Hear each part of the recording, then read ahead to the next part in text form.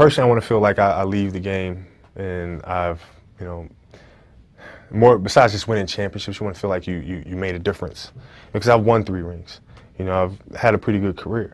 But I want to feel like that, you know, my life has had more purpose besides just putting the ball in the basket. And uh, so, you know, we created the Vivo Foundation. Uh, and you know, through the Vivo Foundation, we'll be doing a myriad of things. Right. Um, you know, we're we more recently we're um, we're building a mural in East LA.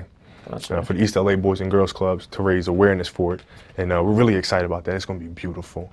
And uh, we're also partnering up with the uh, United Negro College Fund, and Hispanic College Fund, and uh, we're taking scholarship recipients uh, for one week. We're going to take them over to Italy, and we're going to let them go to the city of Rome, Venice, and Florence uh, for a couple days. So, yeah, back uh, to yeah, exactly. Because you know, as a kid, for me, it was an opportunity to you, know, you learn about different cultures, you know, and it helps you. You know, because you're seeing more than you know. There's more to the world. Gives you hope too. It gives you hope. It gives you dreams. You know what I mean? It's it's it's inspirational, and uh, you know. So that's what we're going to do. We're going to take some kids. We're going to take them out to L.A. I mean to um to Italy. We're going to take them to the Sistine Chapel. You know, take them to the Oh, nice. Vatican. I mean, it's it's Do you feel that that's that's been beneficial to you, uh, having had that world experience? extremely extremely beneficial to me, and just letting them see that there's there's more out there.